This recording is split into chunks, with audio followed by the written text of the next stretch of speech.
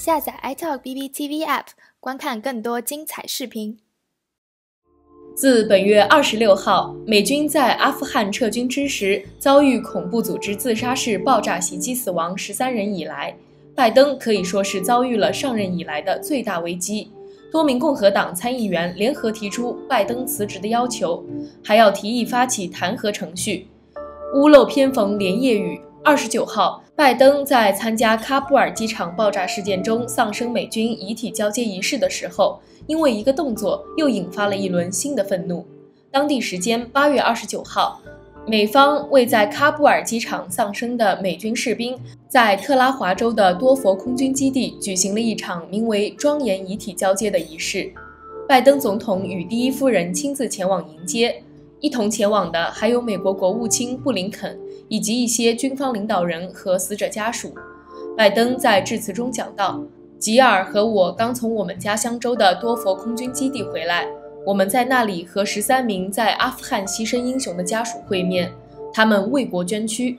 在我们为路易斯安那州祈祷平安的同时，也为他们祈祷。目前，美国路易斯安那州正在经历四级飓风艾达的侵袭，但就在灵柩随后被抬下飞机之时，出现了争议性的一幕。报道称，当灵柩经过时，拜登举起了他的左手腕，似乎是在查看时间。同时，右手从胸口上方放了下来。正是这一举动引发如潮批评。美国前总统特朗普的支持者文斯·兰格曼在推特上说：“当士兵的灵柩被抬上车时，应对十三名士兵死亡负责的人正在查看手表。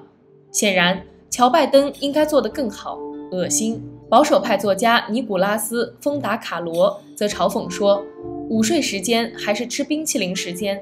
拜登是错过了什么？他需要在一个庄严的仪式中间查看他的手表。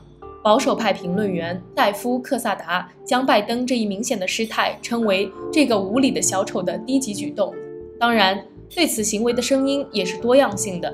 在媒体的报道中，其支持者认为，在仪式上看手表并不是什么大事，看手表可能是拜登的习惯，因为。在特拉华举行的交接仪式之后，拜登在联邦应急管理局举行的飓风艾达简报会上再次查看了手表。拜登为了完成八月三十一号撤军的目标，却令美国和阿富汗陷入新一轮危机。拜登给自己挖了个坑。一方面，拜登发誓美国不会被吓倒，并会在适当时机反击恐怖分子；一方面却不得不加快撤离的步伐。并祈祷在撤退的最后几天不再发生新的人员伤亡，让美国的大国形象扫地。拜登在阿富汗撤军问题上的种种表现，让他陷入了前所未有的执政危机。加之美国民主共和两党现在的分裂也是日益增强，共和党的参议员们似乎感觉这是一个弹劾拜登以及营造舆论要求拜登下台的最好时机。密苏里州共和党参议员霍利说：“美国人在喀布尔丧命令人愤怒，拜登要为此负责。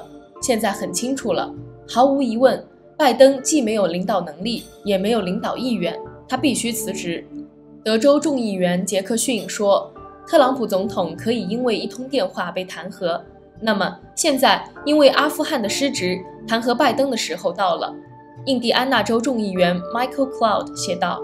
拜登政府再次辜负了美国人民，由于本届政府的失败，造成了美国人丧生，这是不可原谅的。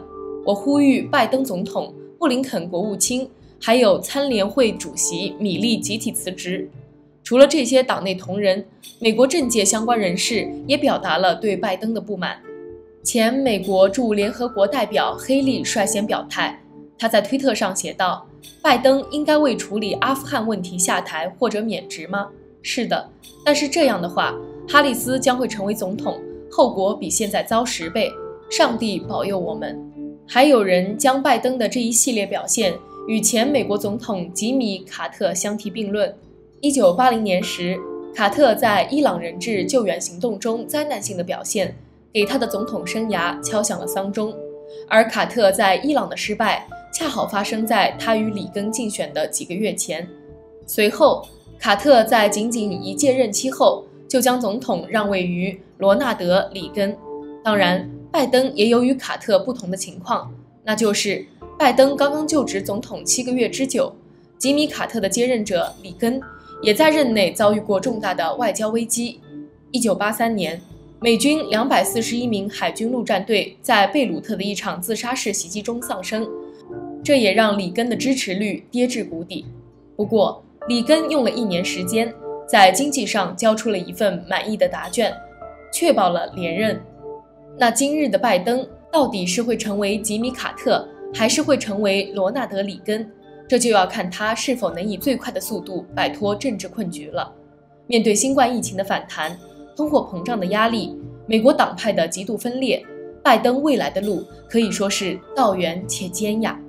如果您喜欢本期视频，请关注、点赞并分享，下载 App 解锁更多功能。我们下期再见哦。